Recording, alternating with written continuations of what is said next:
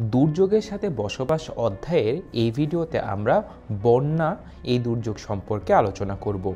এই দুর্যোগ বন্যা কেন সংঘটিত হয় এবং বন্যা সংগঠন হলে কী কী সমস্যা তৈরি হয় মানব জীবনে এবং পরিবেশে এবং একই সাথে বন্যা মোকাবেলায় সকলের করণীয় কী সেই সম্পর্কে আলোচনা করব এই ভিডিওতে। বন্যা আমাদের দেশের জন্য খুবই সাধারণ একটি ঘটনা। কিন্তু দেখা যায় যে প্রতি বছরই বিভিন্ন কারণে অনাকাঙ্ক্ষিত বন্যা হয়ে হচ্ছে এবং ইদানিং এর পরিমাণ আরও বেশি হচ্ছে। এই পর্যন্ত বাংলাদেশে উনিশশো চুয়াত্তর, উনিশশো সাতাশি, উনিশশো আটাশি, উনিশশো নব্বই, উনিশশো পঁচানব্বই, দুই হাজার চার এবং দুই হাজার সাত এই কয়েকটি সালে অনেক প্রচণ্ড প্রলয়ঙ্কারী বন্যা সংঘটিত হয় এবং উনিশশো চুয়াত্তর সালের বন্যায় এত খারাপ অবস্থা হয়ে গিয়েছিল যে এখানে প্রায় দুর্ভিক্ষ অবস্থা হয়ে গেছিল, অর্থাৎ খাদ্য অভাবে তৈরি হয়েছিল। বন্যা এখন মূলত কেন সংঘটিত হয়? বন্যা কি শুধু অনাকাঙ্ক্ষিত?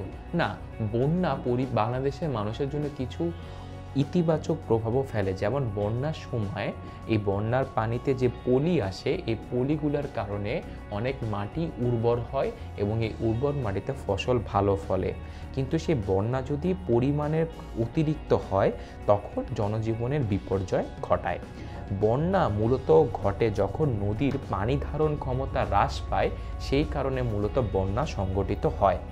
এছাড়া মৌসুমি বায়ুর প্রভাবে অনেক সময় উজানের পানি সাগরে না গিয়ে বিভিন্ন স্থলে জমা বাঁধে, জমা হয়, তখন বন্যা সৃষ্টি হয়।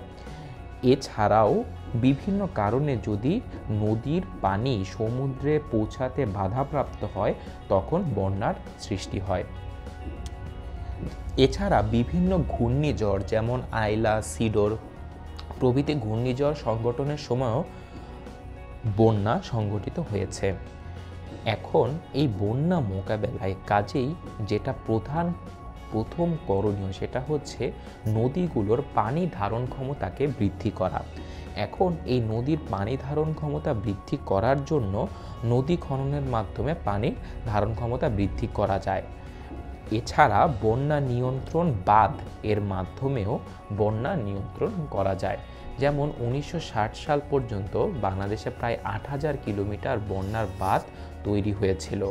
এছাড়া বিভিন্ন নদী শাসন প্রকৃতির বিভিন্ন কার্যক্রমের মাধ্যমে যেমন নদীর পাড়ে পাথর, সিমেন্টের ব্লক ফেলানো, বালির বস্তা ফেলানো, কাঠ এবং বাঁশের ঢিবি ফেলানো, এর মাধ্যমেও নদী শাসন অর্থাৎ নদীকে বাধা প্রদানের মাধ্যমে এর পানিরকে রোধ করার মাধ্যমে যে বন্যা প্রতিরোধের ব্যবস্থা, সেটাকে বলা হয় নদী শাসন। তাই নদী শাসন এবং নদীর পানি ধারণ ক্ষমতা বৃদ্ধি করার মাধ্যমেই বন্যাকে কেবলমাত্র আমরা নিয়ন্ত্রণ করতে পারব। এছাড়া বন্যা সমস্যা মোকাবেলায় আরও কিছু পদক্ষেপ, যেমন বন্যার পূর্বাভাস বা সতর্কবাণী প্রচার করা, এটাও হচ্ছে একটি উল্লেখযোগ্য কাজ যেটা বন্যা প্রতি, প্রতিরোধে সহায়তা করবে। বাংলাদেশের প্রায় আটান্নটি নদীর উৎপত্তিস্থল ভারত, নেপাল এবং ভুটানে। তাই তাদের সাথে আঞ্চলিক সহযোগিতা যদি গড়ে তোলা যায়, তাহলে বর্ষা মৌসুমে বন্যার পানি নিয়ন্ত্রণের মাধ্যমে যেন কোনো দেশেরই ক্ষতি না হয় বন্যার মাধ্যমে। এই ব্যাপারে দুই দেশের যদি পারস্পরিক সহযোগিতা থাকে, তাহলে সহজেই বন্যা সমস্যা মোকাবেলা করা সম্ভব। এছাড়া যেগুলো নিচু অঞ্চল আছে এবং বন্যাপ্রবণ উপকূলীয় অঞ্চল আছে, সেই উপকূলীয় অঞ্চলগুলোতে উঁচু স্থানে আশ্রয় কেন্দ্র নির্মাণের মাধ্যমে এবং আগাম ওই আশ্রয় কেন্দ্রে বিভিন্ন প্রস্তুতি গ্রহণের মাধ্যমে সেখানকার এলাকাবাসীদের বন্যা সমস্যা মোকাবেলায় সচেতন এবং এবং দায়িত্বশীল করে তোলা যায় এই সমস্যা সমাধানে।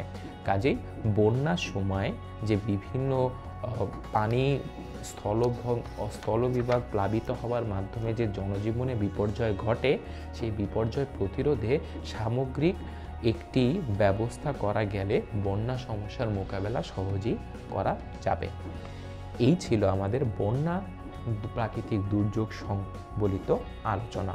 আগামী ভিডিওতে আমরা আরও একটি প্রাকৃতিক দুর্যোগ খরা এই সম্পর্কে আলোচনা করব।